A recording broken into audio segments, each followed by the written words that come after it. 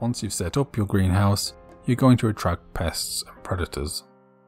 Some will attack the butterflies at their various stages, and others will go after the plants. You won't be able to spray or use any kind of chemicals to deal with these problems, because there is a risk that this will also kill your butterflies. So you have to look for alternative solutions. Your butterflies are very vulnerable to several predators that will find their way into the flight area. Primarily, spiders, ants, slugs and snails are the key issues that you will face.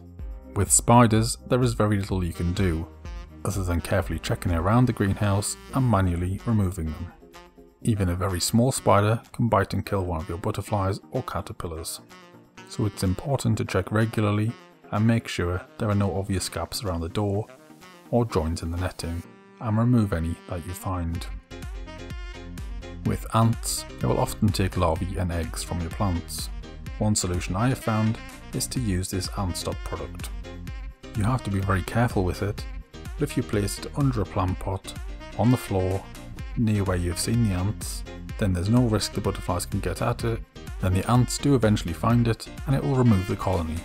Slugs and snails can be very problematic. If your butterflies are on the floor overnight, it's very likely they'll be eaten by slugs. And they have also been known to eat eggs and pupae. There are two good solutions that I've previously found. Firstly, using nematodes and watering those on the plants and soil does a good job, but it only works for a few months.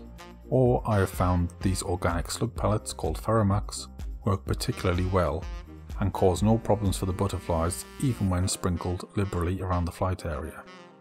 Now on to the plant pests. If you're only keeping the flight area running for the summer, then the first few months tend to be relatively pest free. But over time, pests will begin to appear. Mealybug, aphids, red spider mite, whitefly and thrip are all particularly common issues. Luckily, almost all plant pests have some form of biological control that you can introduce onto your plants and they will take care of the issue. Mealybug can be one of the most difficult pests to get rid of. If you have them, you'll find white sticky masses on your plants. To combat these, you can purchase larvae or adults of Cryptolaemus, a type of ladybird that preys on all stages of the mealybug life cycle. To deal with whitefly, it's best to use a small parasitic wasp called Encarsia formosa. Hang the cards you receive on your plants and the tiny wasps will hatch and lay their eggs in the whitefly pupae and eventually remove the pest from your flight area. Aphids can be very prolific at certain times of the year. Could introduce lacewings or ladybirds, but I've found these also eat eggs or larvae of your butterflies. A good alternative is a mixture of parasitic wasps commonly sold as aphid Scout.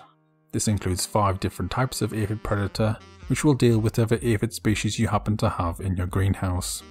Finally, thrip and red spider mite are other common issues you might encounter. Both of these have foil sachets of Amblyseius mites that you can hang on your plants to remove them. You can find links in the video description of all the suggested biological controls, but you may only need these if you have a particularly bad infestation or plan to keep the greenhouse running for a longer period of time. That's it for this episode. Next time we'll be doing an update on how well the pupae hatched, which species bred, and any other issues we encountered with the setup, so I'll see you next time.